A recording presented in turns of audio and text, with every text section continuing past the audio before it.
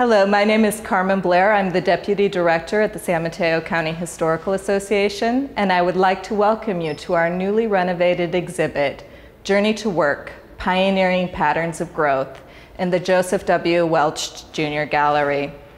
Journey to Work tells the story of how the different forms of transportation that came to this area transformed it to a rural, unpopulated area to the suburban area that we know today.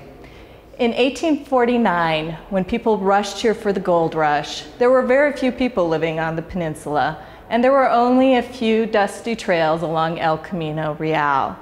But San Francisco was soon the biggest city in the West, and San Jose was thought to be a state capital, so a route of transportation was needed between the two. When the stagecoach journey started, it cost two ounces of gold to take the dry, dusty trip down bumpy roads. So a new form of transportation was needed, and in 1864, the San Francisco to San Jose Railroad started. This was the first commuter railroad of the West, and it allowed the business elite of San Francisco to enjoy a suburban dream down here on the peninsula.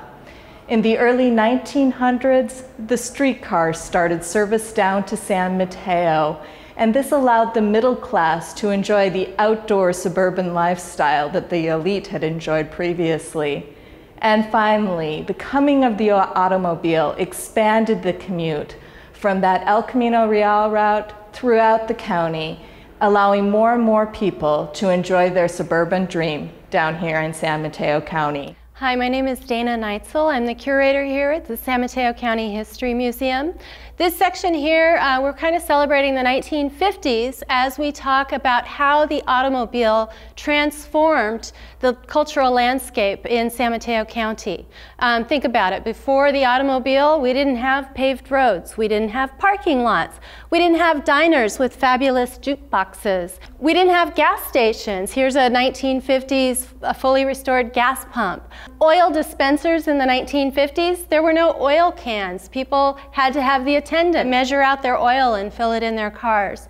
So that's kind of what this section is talking about is how the cultural landscape changed. Um, another thing we're talking about here is this happens to be in 2012, the 100 year, year anniversary of the official groundbreaking of the paved highway on El Camino Real in San Bruno. So we're also discussing that in this area. We have an actual El Camino Real mission bell on exhibit in here, a collection of license plates um, that represent all of the license plates throughout California's history.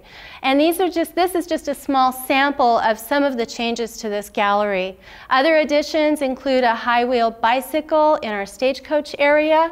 There's lots of exciting things to see. The interactives have been improved. This is a Chrysler Imperial 1956, and it's unique in that it actually has a record player inside of it, which was always hard to see. So we had this platform created so that visitors can actually stand on it and look inside. I hope you can come and enjoy our exhibit. Thank you. So come, join us and explore Journey to Work and see how this county transformed. You can visit us here at the History Museum, 2200 Broadway in downtown Redwood City, or for more information, visit our website at www.historysmc.org.